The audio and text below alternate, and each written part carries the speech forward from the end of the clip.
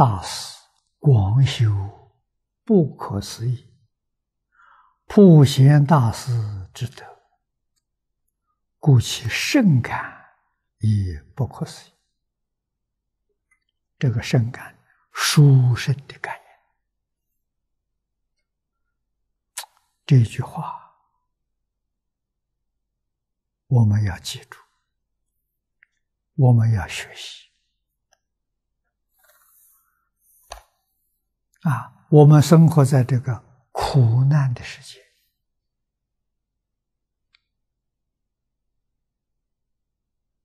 是法佛法都要知道求感应。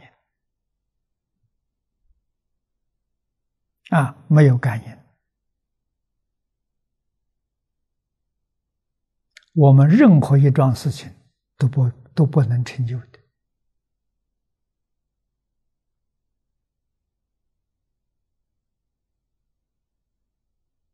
啊，早年我二十几岁的时候，跟李老师学经教，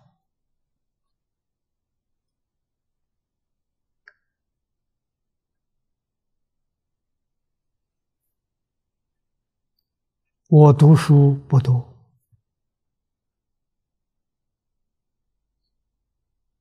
但是跟同学。相比呢，我知识比他们丰富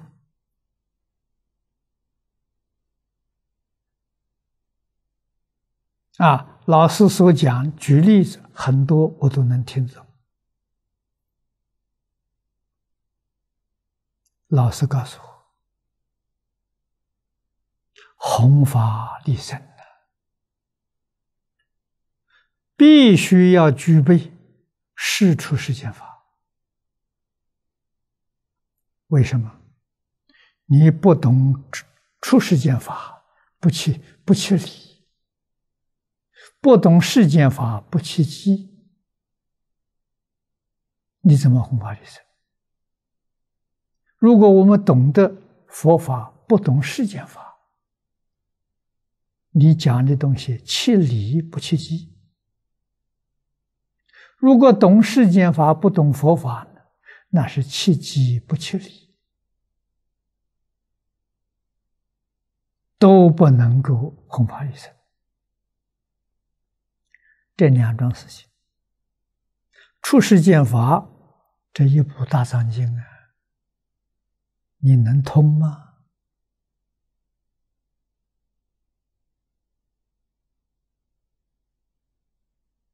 世间法，他说不说别的了，就说中国最大的这一部丛书《四库全书》，你这一生能念完吗？能通吗？啊，我们讲堂摆着有一套一千五百册，你看这么大的书。一千五百册，没有办法了，通不了啊！这时候怎么办？老师告诉我们：全凭感应，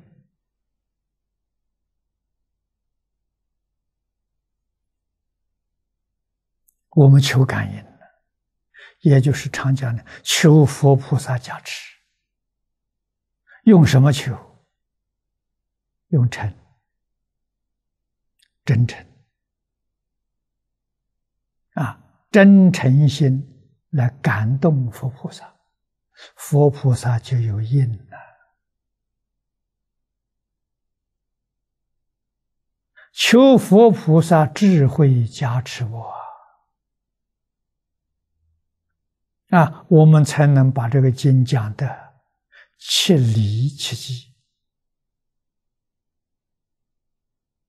啊，全靠感应。真诚到什么程度呢？到极处，叫至诚感动。啊，至诚真诚到极处啊！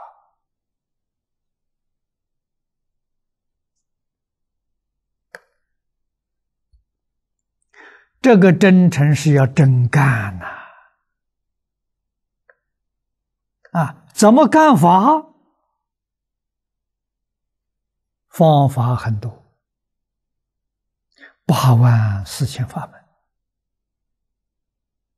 我们的净宗法门是比什么都妙。为什么？它简单、容易。只要你至诚、老实念这一句阿弥陀佛，感应就显现了，不可思议的感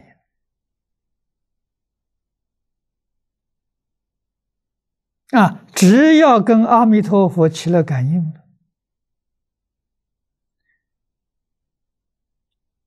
纵然一生没有听过经教。没有看过经，现在有人请你来讲大经节，你肯定比我讲的好。为什么？你得到阿弥陀佛的加持啊！你所讲的就是阿弥陀佛讲的，加持给你吧。